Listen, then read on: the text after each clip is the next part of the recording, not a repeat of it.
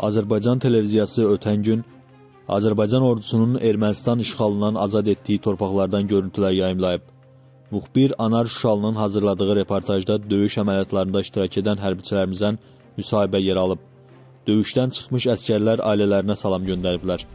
Onlar orduda böyük ruh yüksəkliklərinin hökm sürdüyünü qeyd ediblər. Qeyd edək ki, oktyabrın 2-sində gecə ərzində və səhər saatlarında cəbhənin müxtəlif istiqamətlərində döyüş əməliyyatları davam edib.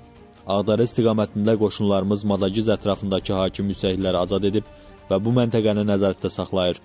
Cəbrayıl Füzuli istiqamətində də qoşunlarımız düşmənin müqavimətini qıraraq onu geri çəkilməyə məcbur edib və irəliləməyə nail olublar.